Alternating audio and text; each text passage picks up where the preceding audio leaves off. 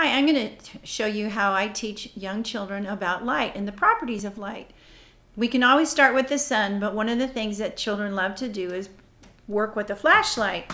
So what I go what I do with the children is they can use their flashlight to do whatever they want to on a paper just to have some fun. They can do shadows and things with their hands. But one of the things I like to show the kids is how different things affect how much light goes through. So I have a little card here with an clear piece of plastic and the children shine the flashlight over the clear piece of plastic onto the black and they can see that it goes all the way through. And we think of things where light can pass through like a window or a door.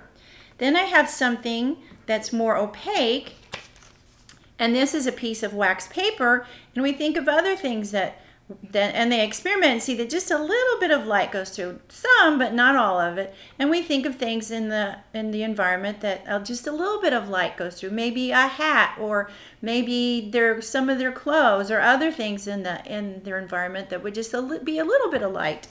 And the last thing is I cover a card with black paper and they can see that no light goes through.